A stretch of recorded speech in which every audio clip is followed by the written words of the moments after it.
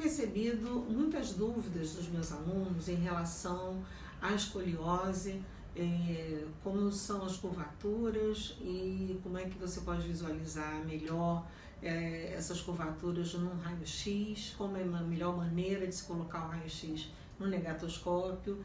Então, a primeira coisa é colocar o raio-x no negatoscópio como se o paciente estivesse de costas para você.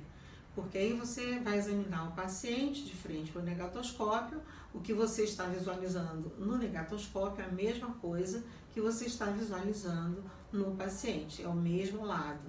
Né? Então, a, escoliose mais comum é a escoliose torácica direita, lombar esquerda.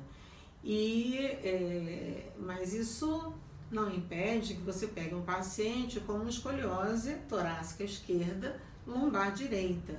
É, existem vários tipos de escoliose, existem vários tipos de curva, mas a quantidade de casos em relação às escolioses de adolescentes é geralmente uma curva torácica e uma curva lombar. Né? Então você vai ter que verificar, em primeiro lugar, essas curvaturas para que você possa pensar em relação aos apoios do colete e pensar também em relação ao tratamento que você tem que fazer. Então, os apoios, eles têm que estar é, na, exatamente na região de vértebra apical e hemicurva inferior. Ele não pode ter nenhum contato com a hemicurva superior, já que a, é, esse contato na hemicurva é, superior pioraria né, a, o ângulo da escoliose. Né?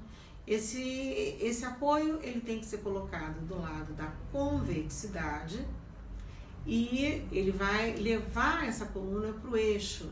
Então, estará corrigindo principalmente a lateroflexão, mas a rotação, como é uma, a vértebra apical é uma vértebra de compensação, onde ela vai girar para recuperar o eixo de gravidade, se o colete está recuperando esse eixo, ela vai ter uma função mais amenizada, então essa rotação também melhora. Né? Então você tem que verificar a correção de uma curva, o que, que está acontecendo na outra curva, porque ela sempre vai provocar uma agravação. Então você tem que manter a correção de uma curva e verificar o que, que a outra curva precisa para retornar ao eixo. E aí é que se fala sobre o apoio, né, o contrapoio é, em relação à curvatura secundária. Então, nesse caso, o paciente tem que ter também sempre um apoio da apical para a hemicurva inferior. Né? No tratamento com o RPG, nós vamos estar fazendo as correções exatamente nesses pontos. Então, você tem que é, observar sempre a correção dessas curvas e o que, que vai provocar de compensação? Tanto no nível de cabeça como no nível de ombros, de pelve, joelhos e pé.